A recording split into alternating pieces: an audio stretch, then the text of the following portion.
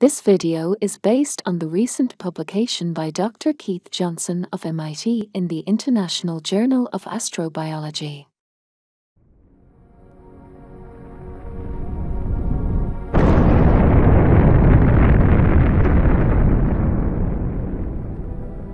Cosmic dust from supernovae explosions, a scourge to many astronomers, some who may even have lost a Nobel Prize because of it.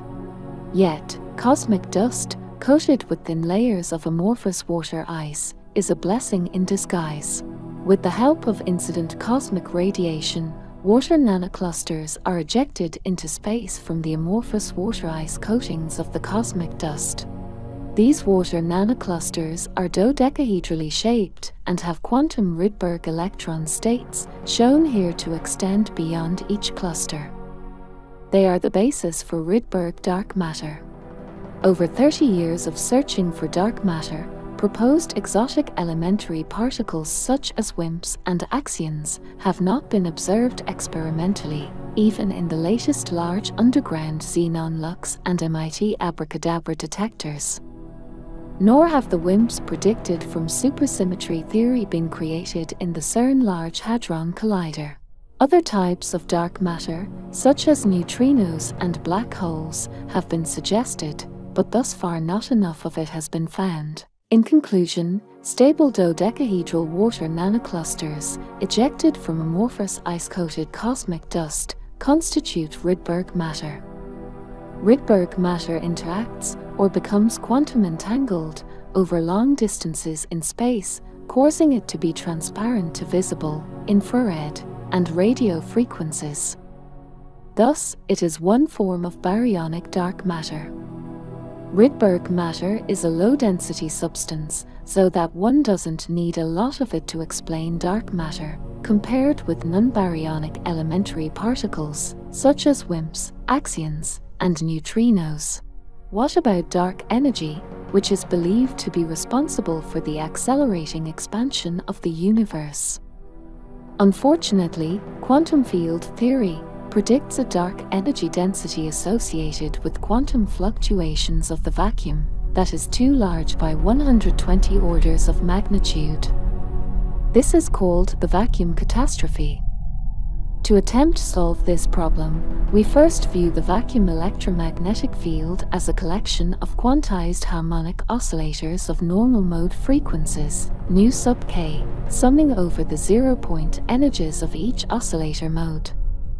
H is Planck's constant, and c is the velocity of light in a vacuum. This leads to the energy density equation shown here.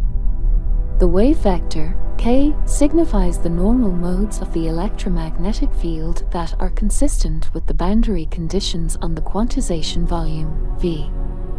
As v approaches infinity, one obtains the right-hand side of the equation.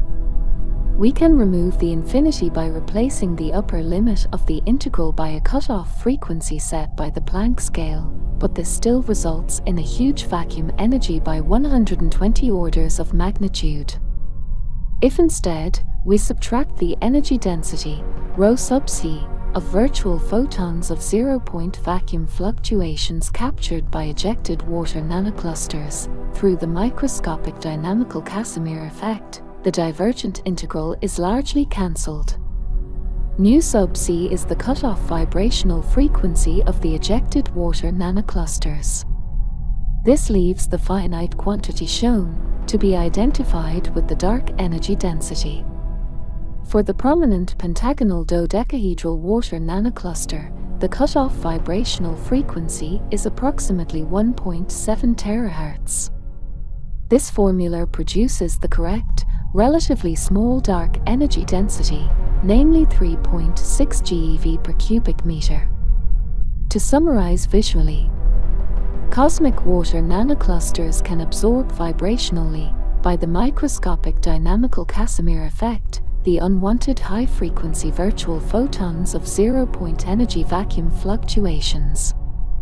Only vacuum fluctuations below the water nanocluster cutoff vibrational frequency are gravitationally active.